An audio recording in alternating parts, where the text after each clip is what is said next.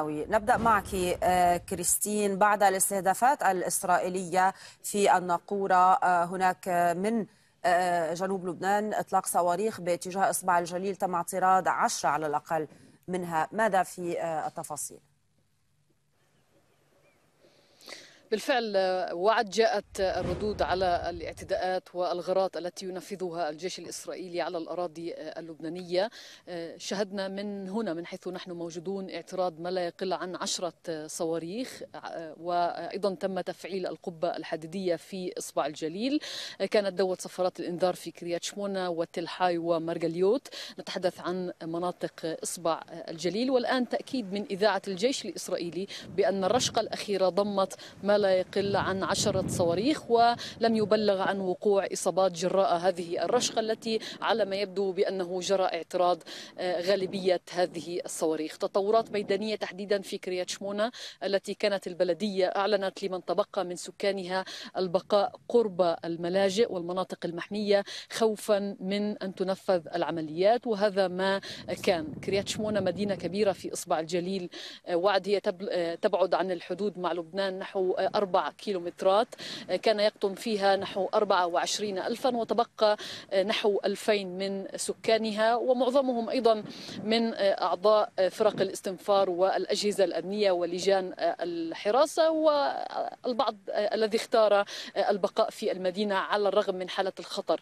وعندما تتصاعد العمليات وتستهدف كريات شمونة دائما ما يخرج رئيس بلديتها لتوجيه دعوات لمن تبقى من السكان للمغادرة. المبادرة فورا على إثر هذه الأخطار والتعليمات التي وجهت لكريات شمونة هذا الصباح تكررت في الأيام الماضية في ظل استمرار ترقب الرد من قبل إسرائيل على اغتيال فؤاد شكر. تزامنا مع خطاب الأمين العام لحزب الله يوم الثلاثاء الماضي قبل نحو ثلاثة أيام رأينا دعوات مشابهة لكن ليس فقط لكريات شمونة وإنما لعشرات البلدات الحدودية من إصبع الجليل حتى الجليل الغربي حتى نهرية كان هنالك خشية حقيقية من حدوث الرد في التزامن مع خطاب الأمين العام لحزب الله حسن نصر. الله وهذا ما قالته أيضا القناة الرابعة عشرة الإسرائيلية. بالتالي الحدود مع لبنان في حالة من التوتر.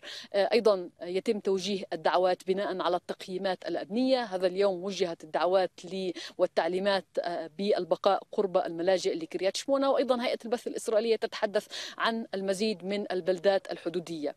إذا نتحدث عن رشقة أخيرة من الصواريخ تضم ما لا يقل عن عشرة صواريخ. يبدو أنه جرى اعتراض معظم هذه الصواريخ لم يبلغ عن إصابات.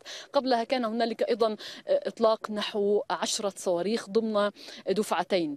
على مطلة في إصبع الجليل أطلق نحو خمسة صواريخ وقال الإعلام الإسرائيلي إنها سقطت في مناطق مفتوحة. قبلها في ساعات الصباح الباكر في السادسة صباحا بالتوقيت المحلي أيضا دوت صفارات الإنذار في كريات شمونة والمنارة وعد وهناك أيضا رصد إطلاق وسقوط نحو خمسة صواريخ. بالتالي نتحدث عن 20 صاروخا منذ الصباح حتى اللحظة وجهت وأطلقت باتجاه إصبع الجليل حالة من التوتر في ظل أيضا استمرار ترقب الرد وتسليط الضوء في الصحف الإسرائيلية هذا اليوم على التحدي المتعلق بهذه الجبهة. أن لبنان قريبة الصواريخ التي سوف تطلق هي لا يعرف الإسرائيليون إن كان أمامهم وقتا زمنيا يتيح للإسرائيليين الذهاب للملاجئ في غضون دقائق. لا عوائق ما بين الحدود حزب الله لديه ترسانة وصواريخ من بينها أيضا صواريخ دقيقة وصواريخ بمختلف أنواعها وهو قادر على أيضا عنصر المفاجأة. ورأينا في الأيام الماضية وفي ذروة التأهب الأمني وحالة التأهب القصوى لدى سلاح الجو نجح حزب الله بإطلاق مسيرات باتجاه شمالي الجولان السوري المحتل. هناك فشل باعتراض ثلاث طائرات مسيرة قبلها أيضا شمالي عكا فشل الجيش باعتراض مسيرتين اثنتين. وهنا نتحدث عن ذروة الاستنفار. هذا يخيف الجبهة الداخلية الإسرائيلية ويضعها أيضا أمام تحدي وعد.